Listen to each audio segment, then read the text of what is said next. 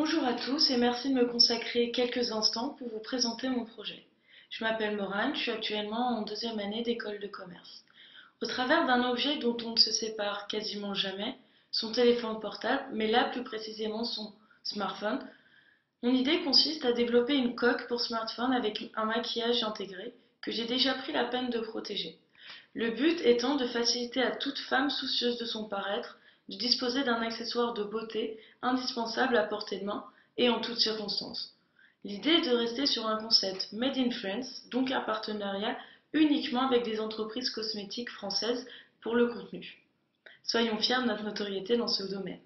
Bien que ce concept n'est censé concerner que nous les femmes, enfin en général, j'attends un soutien massif de tous pour que mon projet puisse voir le jour, alors merci d'avance de votre coup de pouce, au votant pour et à partager aussi en espérant tout de même qu'il vous a séduit.